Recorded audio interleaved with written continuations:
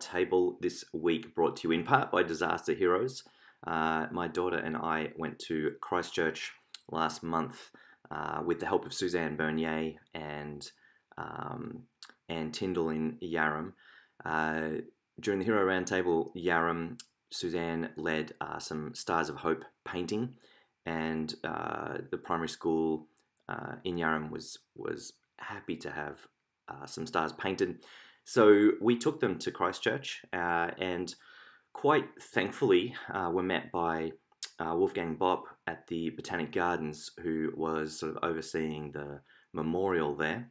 And uh, we were given sort of prime prime spot on the fence at the Botanic Gardens and uh, spent the afternoon uh, putting them up. And I'll, I'll let my daughter take it from here.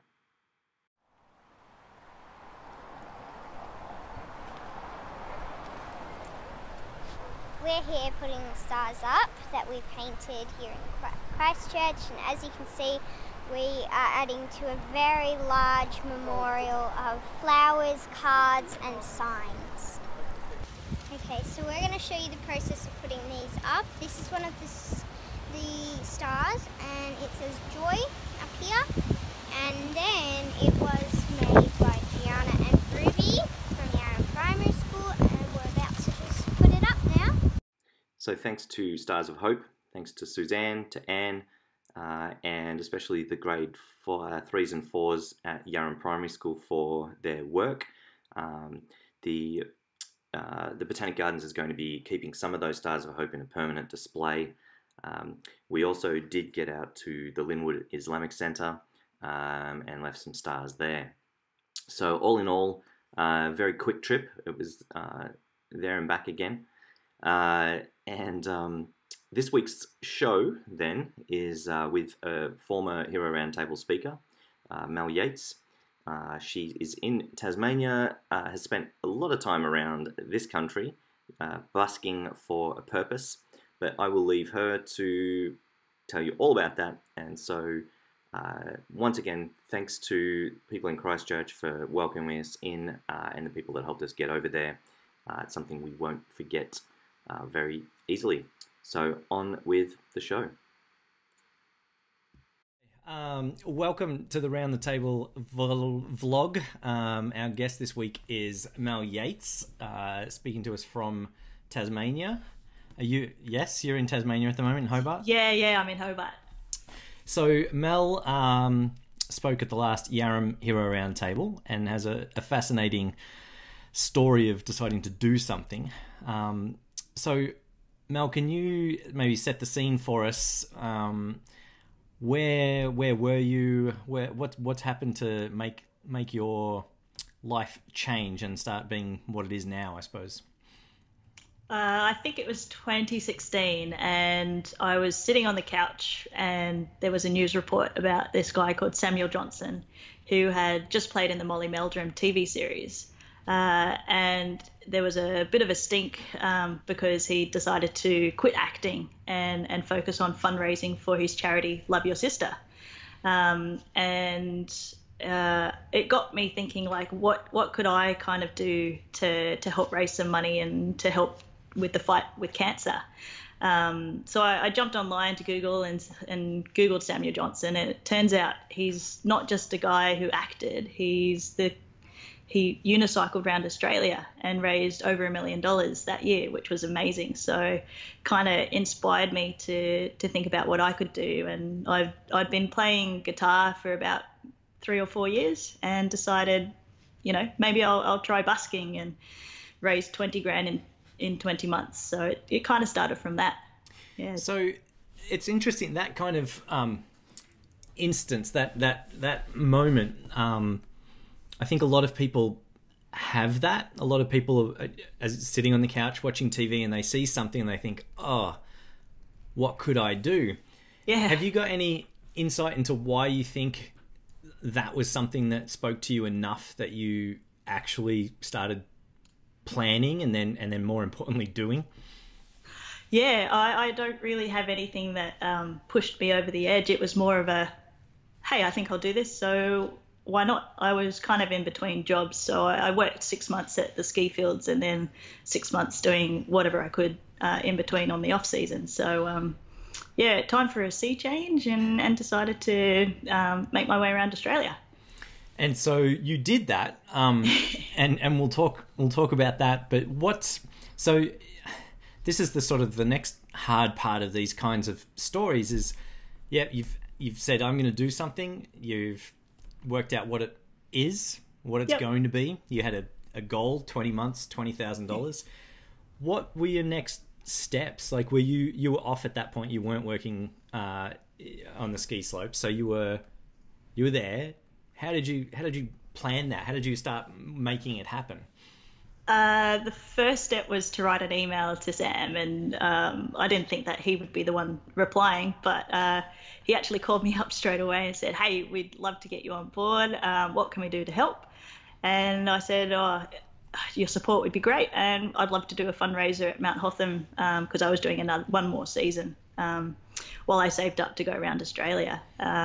The first time I tried busking was outside Bright Woolies, and I raised about eighty-four dollars for about an hour busking. So, um, yeah, it was pretty good.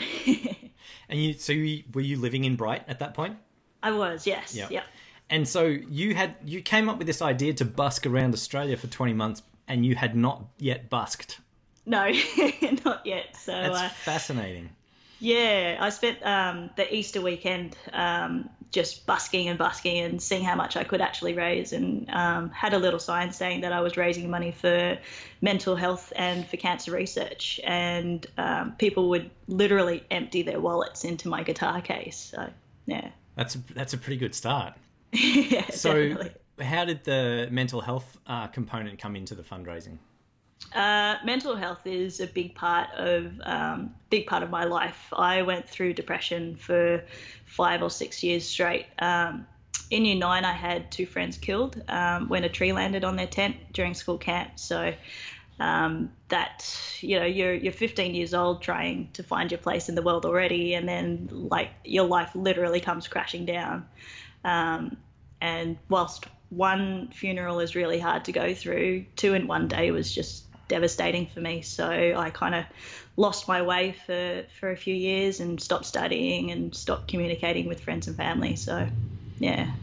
And so, okay, so that that's that. It's interesting that you um, you were sort of spurred to action by someone raising money for cancer, but then quickly realised there was there was a a cause closer to your heart, Yeah, yeah. which I imagine helps keep you keep you going on the road. Um, so, how long before or how long after the Easter busking test did you hit the road? Uh, so I had one more season at Mount Hotham. So I didn't actually hit the road till about October 2016. Um, and then by that time, I'd actually reached 20 grand. Um, so Sam came up for a fundraiser and um, he's like, okay, so since you've hit your 20 grand target, how about we raise it to 100,000? And I was said, challenge accepted. And yeah, went from there. So the twenty thousand came in one season in in Mount at Mount Hotham and in, in Bright. Yeah, yeah, definitely. So um, had a couple of fundraisers and had some friends at Hotham jump on board, and which was really amazing. Uh, and then, yeah, if people were fundraising for help uh, to help me raise that twenty grand as well. So yeah, it kind of brought this community together. Wow. Yeah. And so, how were you communicating that, or were you, other than just turning up and and busking and then running these fundraisers? Were you was it taking up a lot of your time where you were focused on getting the word out, or was it sort of just happening organically? Uh, I think it all kind of just came together somehow. I, I didn't really have to push it too much. Um, I had a little handmade sign um, that I had up each time I was busking, so that kind of caught people's attentions. They uh, they'd walk past and then stop, read the sign, and walk back and um, empty out their wallets. so yeah, kind of um, How did you convince people that that was a legitimate uh, yeah. fundraiser? Because that's it's easy to to make a sign, right? So how were you? Was there was there a component to it that convinced people? It showed people that this was a legitimate fundraising effort. Yeah, uh, I had um, authority to fundraisers from um, Beyond Blue and Love Your Sister. Um, if anyone did ask, but yeah, most of the time people would just um, believe that I was fundraising, and I was. So yeah, right, that helps. Yeah. Well, okay, so and I'm asking lots of specific questions because I think it can help people get over that initial bump of I want to do this, but I have no idea, and there's no way I could possibly do it. Um, yeah, yeah. And I think it's important to showcase people like you who didn't have that background, didn't have even any busking experience, and then you and you made it happen. Um, so then that that goal was given to you as a for a hundred thousand, which was again tied to going around Australia. Is that right? Correct. Yeah. And so, tell me how that all happened. How did you map out? Did you map out like was there a route that you were taking? How did you? How did you? How did you jump onto a hundred thousand and think, yeah, okay, I'll just get around Australia and make that happen? Honestly, I didn't really have a plan. Um, it everything kind, as I said before kind of fell into place. Um, I was on ABC radio saying, you know, I'm a girl, her car, and her guitar, but I don't actually have a car yet. um, and one of the listeners that day called me up and said that his aunt had just passed away from cancer. And my story had touched his heart, and he actually owned a rental company in Shepparton, uh, and he would love to offer me a year a free rental for a car to use right around Australia. Um, which was amazing. So I had a car and a guitar and decided to yeah set up and kind of go around Australia. Um, I had a I have a Facebook page called it's now called a girl and her guitar because I don't have a car anymore. Um, but people would email me straight away and say, look, if you're coming through this town, um, we'd love you to stay. So I kind of planned my trip around the people that I could stay with, if that makes sense. Yeah, so the, the, the getting a car from a rental company is certainly a, a um, stress reducer compared with buying a five hundred dollar car and hoping it's going to make it make its way around. Yeah, totally. Um, but I think the one of one of the uh, another Hero Roundtable speaker, Casper Craven, told me last year that it's really important when you're doing something like this to tell people what you need.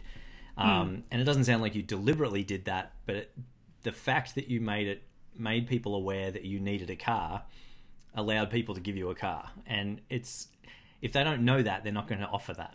And I yeah. think it's it's it's a really important part of when people are trying to do something in the world that they let other people know what they need to make it happen. Because as you've seen, um, people love to jump on and help someone who's who's making a big effort like that.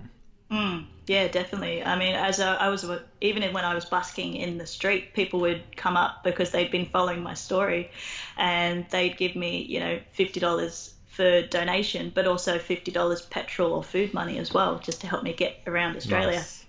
Yeah. So that that I've heard sort of similar stories where um, people have started a, a, movement like this, and your um, fellow speaker in Yarram, Matthew Winkler, yeah. had a story of, of traveling around America, and all of a sudden he wasn't having to worry about where to stay because people were offering it to him. Yeah. Um, and social media is great at that. Did yes. you make an effort to get people to the page? Like, how does how did people find your page that were in another state who could then say, "Hey, come and stay with us"? Yeah, um, I was contacted by the ABC 7:30 report, um, and they actually did a little segment on me. Um, probably a, a February, March 2017. And from that, I got a few thousand followers. Um, so it kind of went big from there. And also, Love Your Sister had quite a big following too. Uh, and they did a couple of posts. So that, that really helped as well. Yeah. Yeah, yeah, yeah. Being on national television always helps with these sorts yeah. of things. Yeah. Um, so, as how long did it take you to get to that hundred k? Uh, it took another 12 months from the August that I left. Yeah. So, what are some of the the highlights of that trip? What what what are you? So that was sorry, I'll let you answer the question, but that was basically the year of 2017. Yeah, pr- pretty much. So I think I left December 1st was the actual year on the road um, till December 1st the next year, 2017. Um, and I had a big fundraiser in November the 11th at the Brunswick Hotel and reached my hundred thousand dollars at that date. So Right. it kind of all yeah. Um, Yeah. So a year on the road. What's what are some of the the highlights? Uh, so there's a little town called Wombat, um, which was probably my favourite little town to, to visit. It had 120 people in the population of the town, and I think 125 people turned up for my fundraiser.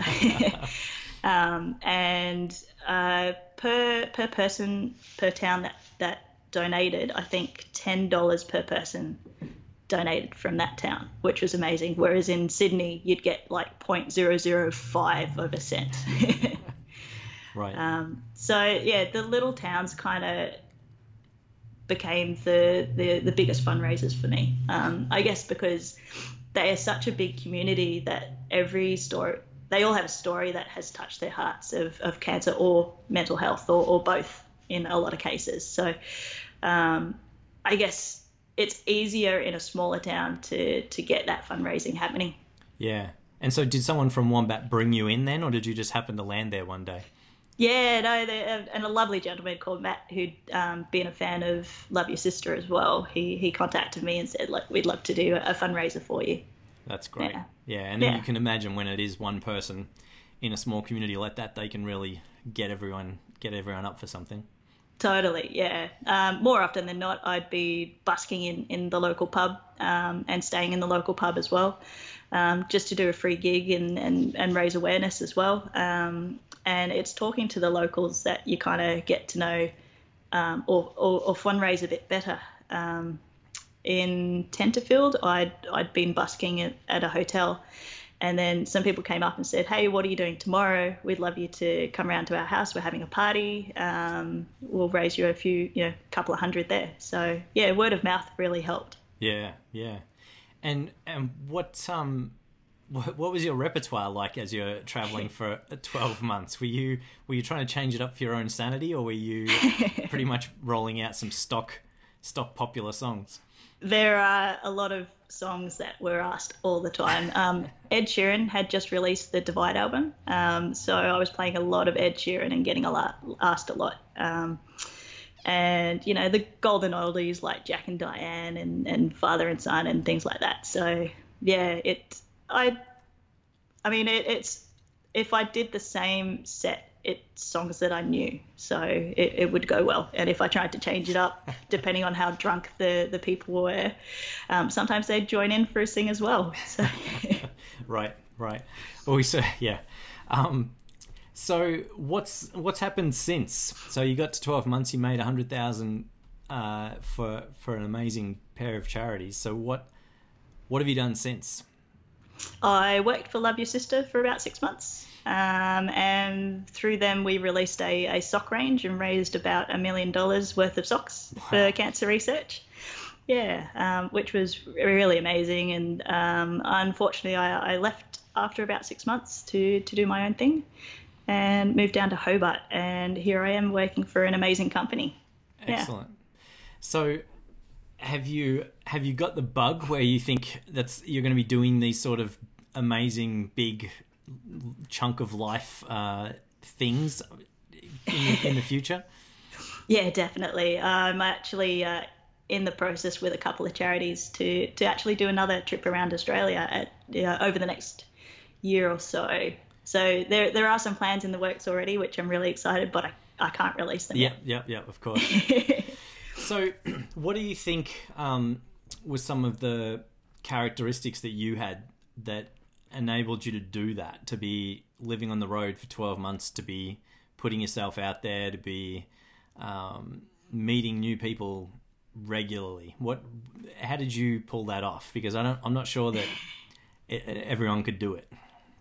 Yeah, I think it's just um, a sense of that I could actually like having that mentality that I can actually do something that I put my mind to, um, and then just all the support from around Australia and even from overseas as well. Um, that any time that I was down, they'd lift me back up. Um, on my page, I, I hid nothing. Um, like if I was having a down day, um, I'd let them know, and more than often than not, I'd have a stranger come up and give me a random hug. so, yeah, that was pretty amazing. Um, like, for example, one day I, I was busking in, in Albury, New South Wales, and uh, I turned my back on my guitar case for, for a minute or so and turned around and all the all the notes had been taken out of the guitar case.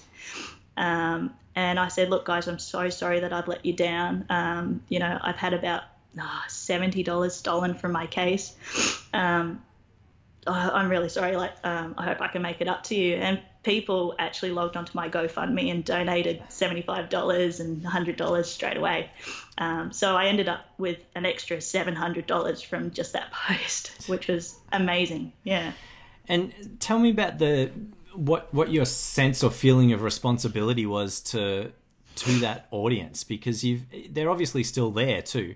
So they are. what's um are they do, do you feel a weight of expectation? Do you feel obliged to them, and and how do you manage that? Yeah, they definitely keep me accountable for sure. Um, but yeah, so if I if I go quiet for a couple of weeks, I, I, get a few messages from from people who follow my story saying, "Hey, hope you're okay. Um, just haven't heard from you for a while," and um, it's really cool that they they actually care and check in. Um, it's it's yeah, a really lovely feeling to, to have those people like strangers who I've probably not even met as well, um, who who just want to know how you're doing, um, and and the same is reverse as well. Like if I if I know one of my followers hasn't really been active much and I haven't heard from them for a while, I just check in too. So it goes both ways, which is really lovely. Yeah, it's definitely a, a feature of online communities that that there's mm. that support there and and people really paying attention. Um, so going back to when you were going to go away for 12 months and and be on the road for 12 months did you have a pretty good idea of how that was going to work did you or did you just sort of jump in and make it work because i think again that uh, planning session or, or, or the, the the intimidation of such a big um, mm. commitment mm. can really put a lot of people off. So how, how did you manage that? I spent actually spent a lot of time talking with Sam about his own trip around Australia um, and how he organised it and what he did to kind of get the funds rolling in um, to raise a million dollars. And um, he he gave me some advice and said, look, um, you know, don't contact the towns too far in advance. Do it about three weeks out and you'll get more of a response because it's not so urgent that they're going to say no, um, and it's not so early that they're they're going to forget about it. So that yeah, that three week mark kind of really helped. Um, and I just email every single pub and every single cafe in the town and say, hey, my name's Mel Yeates. I'm busking for charity. I'd love to do a free gig in exchange for a meal or accommodation. And yeah, more often than not, I'd get a reply back and say, yep, we'd love to have you. Right. Did you um, pick a direction around the country? Were you bopping around from place to place? How did that? How did oh, you do yeah. that? Yeah, I, I ended up traveling 35,000 kilometers in 12 months. So, uh, and that's not including flights as well to get from place to place as well. Um, so it was a lot of driving by myself, um, which I really got used to and really enjoyed being on the road because when you're a fundraiser, you've got so many people um, talking to you and wanting to know your story. And it was a bit hard to begin with because I'd have to talk about my friend's death every single day, um, and it got me down to begin with. But um, yeah, again, the support from everyone was fantastic. Mm. But um, yeah, so people would say, "Hey, we want to do a fundraiser for you. Can you come play?" And I'd kind of try and work it so I'd be there at that time. Right. Yeah. So that's really good to hear that you've got advice, um, and I think that's an important component too. That uh, a lot of times when people think they want to do something, they just assume they've got to do it by themselves. And and as we know, all all of the great stories um, have have the hero of the story looking to other people and getting advice and having a mentor. Yeah. And it's such an important important important piece, and having that team to support you as well. So. Have you had people approach you since then to say, "Hey, I want to do something similar"? If so, you know, how, and if you haven't, imagine what your advice would be. But what, what is the advice for for people who want to do a big sort of statement um, thing for the world or for, for, for other people? Yeah, um, I think my first advice would be to give it a go because if you don't try, it's it's already not going to happen. Um, but I had a, a, quite a few people contact me to do a fundraiser, um, and as you know, it was kind of a bit stop and start to begin with. Like I didn't really know how to do a fundraiser, and um, having the Love Your Sister charity behind you was was really good because you could ask them advice and raffles and, and prizes and how how could we raise uh, a lot of money in, in just you know a three hour period or something like that. So I guess I became more experienced as you went along, um, and I figured out what worked and what didn't, if that makes sense. Yeah. So um, raffles really worked, and anything involving alcohol always works. So yeah, um, yeah. Yeah and and I think that the other part there is that you had that organization behind you, um, mm.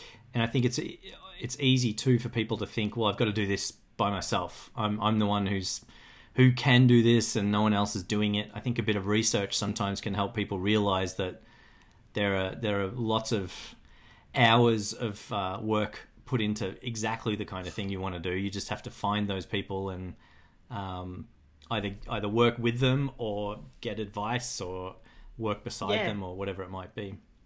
Mm, definitely, and getting the word out that you are fundraising for a certain cause as well. Um, I had Beyond Blue write out, uh, oh, what are they called? Um, statements to the press uh, to say that you know this chick's coming around and yep. raising money, um, and I did a, about hundred interviews or on radio or TV or, or newspapers uh, on that year. So yeah. Um, yeah, the exposure was really really amazing. And I guess that's part of it too. Is it's not it's not just going to play some gigs. It's really there was a lot more work involved um, yeah. in in doing the press relations, the um, and act, the actively seeking out places to perform. Right? Yeah, definitely. Uh, it was sometimes it'd be hard to find a place um, to busk, or they'd want to charge you like fifty dollars for just an hour. Um, but luckily, most hotels would pick me up and I'd be able to do a gig. Um, once I actually opened for uh, the um, Keith Urban and Taylor Swift tribute band. so that was that was really really fun. A um, couple of hundred people there and all all singing along, which was amazing. Yeah, it, it's yeah. It, I can imagine. I I mean I yeah I can vaguely imagine what kind of experiences you had. Um, yeah. Or the, the sum of them. So um, I think that that that going back to that first moment on the couch too, I think that it it wasn't so much that it was raising money for cancer that got you off the couch literally, but it was that someone had done something right. It wasn't mm. it, you weren't drawn to the the the cancer fundraising as much as you were to I've got some time. I'm a person. I can do something to help people um, yeah. I can do something like that. Does that sound right? Yeah, definitely. So, I mean, over the years, I'd always raised money for charity, but never to the point of $100,000. Um, but I just wanted to bump it up to the next level and, and set my sights on 20 grand and, and hit, hit it. So, yeah, it just gets bigger and bigger. So that's interesting. You've you had a history of raising money. So tell me about that. What what uh, sort of things were you doing? Uh, well, so the cancer side of things comes from my cousin who's had cancer twice. Um, the second time he had a bone marrow transplant and it attacked his lungs, um, meaning that he had to have a double lung transplant. Um, sorry, when he had a bone marrow transplant, he had to it he sorry he ended up having to have that double lung transplant and um, after that he was running marathons and triathlons and just he's a big inspiration for my trip as well. Um, and cancer's been through my family too. So Sam's story touched my heart because his sister Connie was dying of cancer at the time. Um, so yeah, I can. I guess that kind of motivated me to get up off the couch and do something about it. But so you had done some fundraising for cancer previously. Sorry, yes. In other ways, yeah. So what yes. what sort of things were you doing? So my cousin had cancer, and so I decided to shave my hair off um, the first time that he he got it, and I raised about uh, three thousand um, dollars. And then the second time he got it, I raised another fifteen hundred dollars by shaving my hair off again. I have I have this thing about shaving my hair off because I don't I don't really care about my hair or my looks or or anything like that. So yeah. Right, right.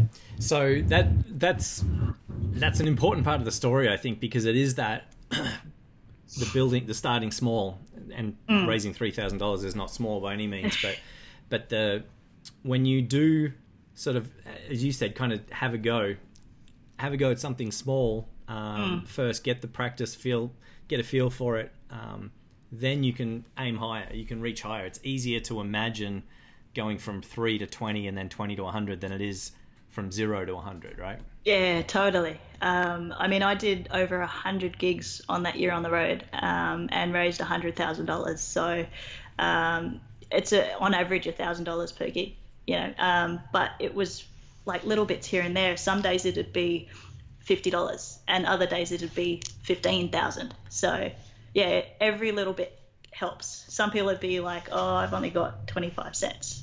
And I'd be like, if everyone chucked in 25 cents, how much would I have raised, you know? Yeah, yeah. Well, um, I'm, we're going to close off here, but I want to get give you a chance to give people some words of encouragement if they are watching this and having that on the couch and having that same kind of feeling. Um, what are your words of wisdom, uh, encouragement, but also how can people get in touch with you if they've got questions? Obviously, shout out your Facebook page and wherever else you are on social media and let people know. Yeah, definitely. Um, give it a go because, um, as I said before, you, are going to fail if you don't try. Um, and if you do have any questions or, or are stuck of what you want to do or how to fundraise, give me a, give me a shout. My email's uh, gcg.mel at gmail.com or Facebook, it's um, a girl and her guitar, and Instagram, mel.yeates. Fantastic. So, yeah. um, people can get on there and start following you to see what's next when you have the big announcement. And um, yeah, I'd encourage anyone if you if you're thinking about doing something, get in touch with Mel because uh, there's there's some inspiration for you for sure. Yeah.